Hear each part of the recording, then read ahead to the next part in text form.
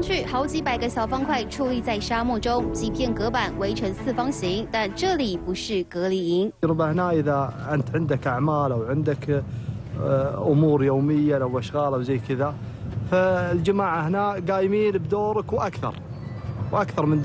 就像是宠物的日托中心，不过在杜拜变成了骆驼版本的托婴饭店。位于利雅得省沙漠中心，这座饭店总共有四百八十间客房，而且还分单人房跟双人房。不止入住前，骆驼要接受健康检查，他们也提供饲料和大麦。如果愿意再多付点钱，还能送上热牛奶。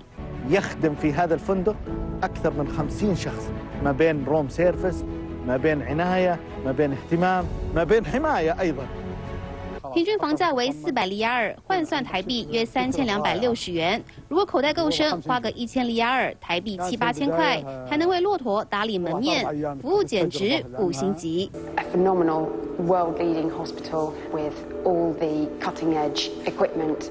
不止专属饭店量身打造，在杜拜境内还有专属的骆驼医院。It is a proper hospital with all departments, one of its kind in the world.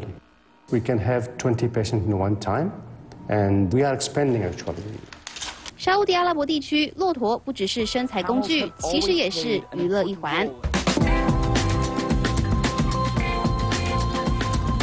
人喜欢骆驼赛跑，不只是社交惯例，也是一种捷径传承。但追赶跑跳难免会受伤。